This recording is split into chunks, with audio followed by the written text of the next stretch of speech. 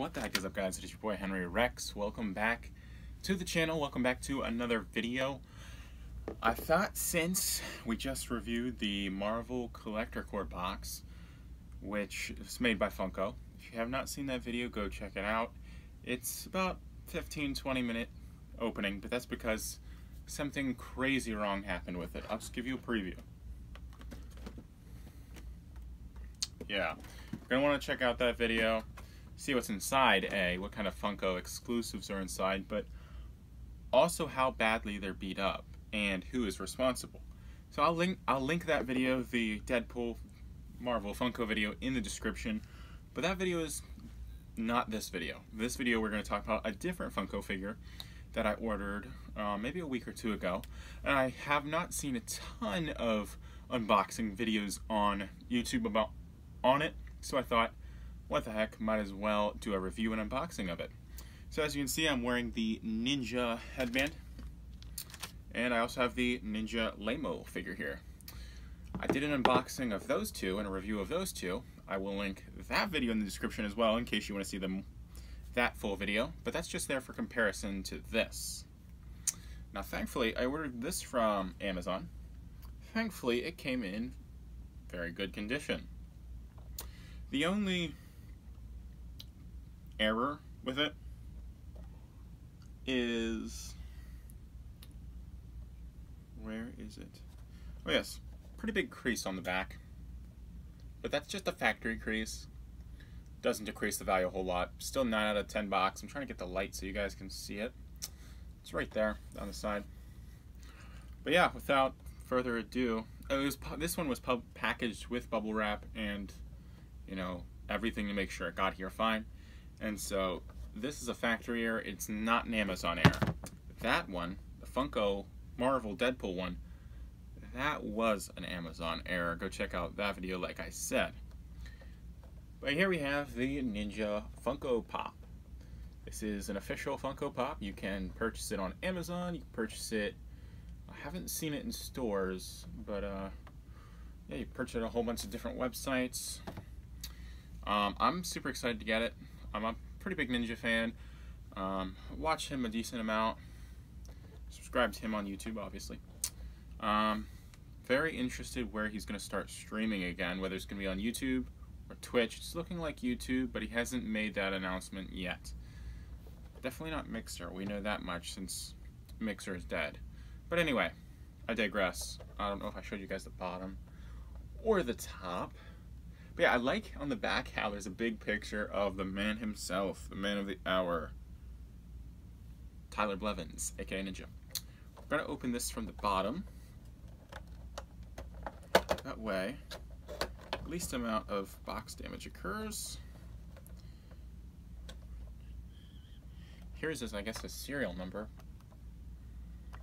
It says 47169 PKG underscore ninja underscore pop underscore C1. That's interesting. Slide this out.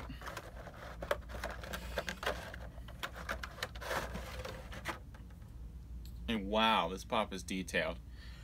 Wow, I'm actually extremely impressed. Let's get into it. Here is the figure, the Funko Pop of Ninja. See, he's got his very detailed hair, he's got his eyebrows detailed. There's no printing on his headband at all. But he does have his logo, his Ninja logo, on the shirt. The same logo you see there. That little blue ninja head. That is on the shirt.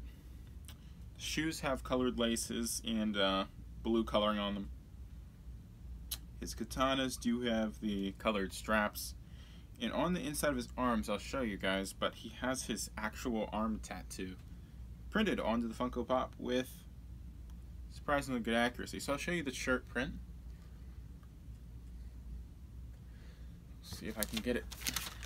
I'm not sure if it is zooming in, but that should help it. See that is um, arm printing, his tattoo. Hopefully you guys are able to see that. I'll show you the back of the Funko Pop. And now for the reason I actually wanted to show the Lamo figure as well. Oh, by the way, I purchased this for the regular price of $10.99. Um, so there was no deal on it, but I just wanted to have one because I do like Ninja and I like Funko Pops. So this was one, on, one I had always planned on getting. Let's compare him to the Lamo figure, which is what the meat of the video is going to be. So, see, he is substantially smaller and shorter than his Lamo figure. Um, his Lamo figure is a little bit more expressive as a, compared to the Funko Pops. Um, solid black eyes and just no mouth, I guess. Um, but this Funko Pop figure, the sculpt itself is more detailed. And I believe the printing itself is more detailed as well. Sure, on this one he's got his ninja shirt. Um, but he doesn't have any swords on the back. Nothing at all like that. He does have headphones, which is something this one does not have. But I think I actually prefer it without um, headphones, to be honest. So I think this, personally, they both have charm. This one is a little bit more of a, feels like a spongy plastic. Not spongy, but Definitely tell it's a little hollow. I'm not sure if you can hear that. Little, little hollow. It's not completely solid plastic. Whereas this one, pretty sure it's just regular Funko. I'm not sure if the heads are solid, but I know the bodies are at least. Um, this one's kind of odd because it's got this weird printing on the back, which I really kind of wish they had printed on the bottom or somewhere out of sight instead of like right there on his head. Uh, I do like this figure, like I said, and it has a lot of charm. However, the thing is, when it comes down to price, and, and uh, well, I do like this one more in terms of both sculpt and print. So I do like this figure more. However, this one's good. Uh, the main difference comes down to the price, in my opinion. This retails for 20. I got it on deep discount for 5. That's why I picked it up. This one retails for 11. Um, probably potentially find it somewhere for sale, but it does retail for 11 and that is what I paid. Um, I believe that the Funko is worth the $11. It is the superior figure, in my opinion. Um, what it all boils down to, basically, is what you're doing with the figure. If you're getting the figure for a child who's going to want to play with it and be a little more rough with the figure, you're going to go for the Lamo if you're um, looking for a high, higher quality figure, but uh, one that you're going to want to display and not really play with, the Funko is the way to go.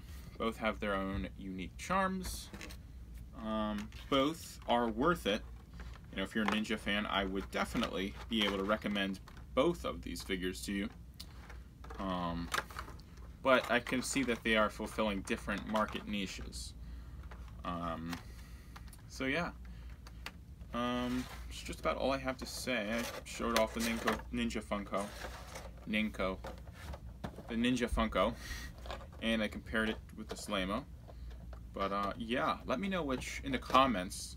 Do you prefer the Ninja Funko, or do you prefer the Ninja Lamo? If you had to get one, if you're if you were gonna get one, which one would you go for, and why. Just a short little description of why. I'd go for, if I had to only get one, I'd go for the Funko Pop just because it's a lot more detailed and I already have a collection of Funko Pops. Um, but I could definitely understand you wanting to go for the Lamo if that's more your thing. Uh, thanks for watching the video. Please subscribe if you haven't already. Um, we do uploads every Monday and Friday. Um, please slap a like on the video and check out the videos I linked in the description. I linked to the Deadpool Funko mystery box and I also linked the review for these two items. Thanks for watching. Hope you have a great day. Henry Rex out.